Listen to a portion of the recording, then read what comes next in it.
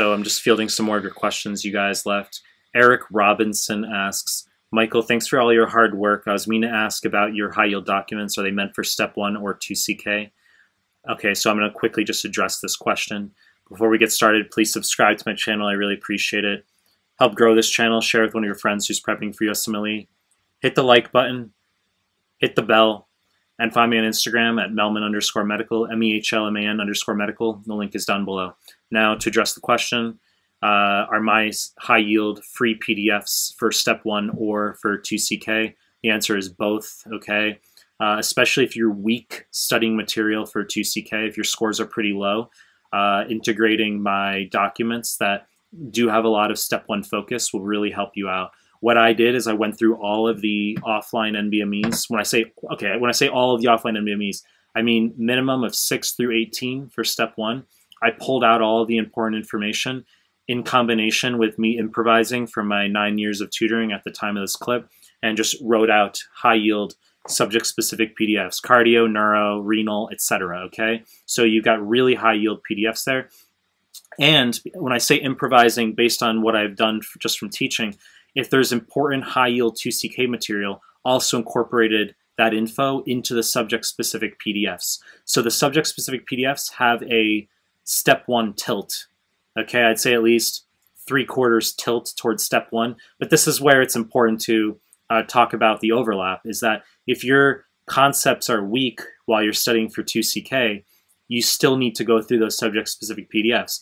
I have plenty of students who they score low on 2CK assessment because they don't even know what aortic regurg sounds like or how to differentiate cardiac tamponade from pericarditis. They're missing foundational step one concepts. Well, what do you do? You can go through the subject-specific PDFs that have a step one tilt, but the concepts are still the same you still need to know what fucking cardiac tamponade is for step two, the same way you need to know what it is for step one. Okay? So, as an example, so there are straight up 2CK PDFs as well. I I have a PEDS PDF, I have Surge PDFs. The high yield mixed PDFs are internal medicine, which has strong overlap with step one. Okay? So, I would just do all of the PDFs, period.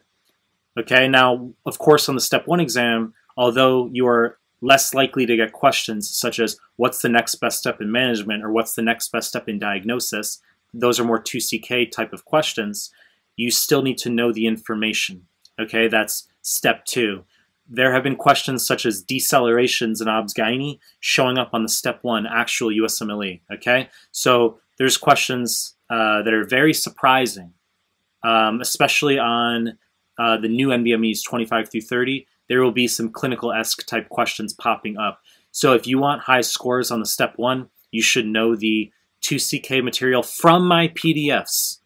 Okay, I don't want to get sidetracked by I don't think you should overtly study 2CK resources or do 2CK QBanks while you're studying for step one. Do not do that. But my PDFs are essentially the highest yield material for steps one and step two. Okay, there's significant overlap. The point is, just read the fucking PDFs. They're going to be helpful for you.